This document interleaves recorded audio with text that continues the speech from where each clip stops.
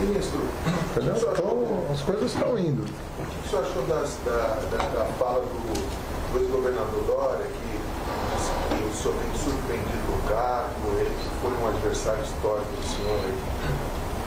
Olha, eh, na verdade, eu, assim, eu concorro para que as pessoas voltem a conversar, voltem a dialogar, voltem a negociar quando tem mandato.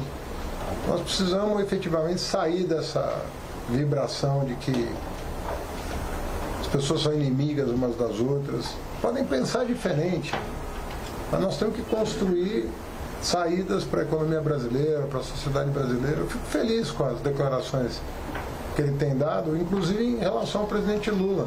O fato de ter se desculpado né, de uma frase infeliz num momento delicado da vida nacional. Isso tudo colabora para mudar o clima, voltar à política com P maiúsculo, a gente pensar saídas para o Brasil. E as divergências são próprias da democracia. Ninguém pode impor a sua vontade. As pessoas têm que negociar. né? E é assim que a gente constrói.